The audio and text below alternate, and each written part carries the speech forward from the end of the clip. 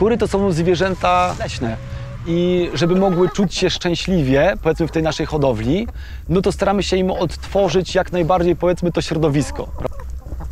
Najfajniej by było, gdybyśmy mogli te kury przestawiać. Nie? Są takie patenty, gdzie po prostu buduje się te ekmobile czy jakieś chicken traktory i przesuwasz je po świeżej strawie. Niestety my jesteśmy na zboczu i w naszym kontekście jakby tego typu forma jest y, dużo trudniejsza. Dlatego musimy jakby wymyślamy inne y, takie patenty, które będą, nie wiem, powiedzmy dbały o najlepszy dobrostan tych zwierząt.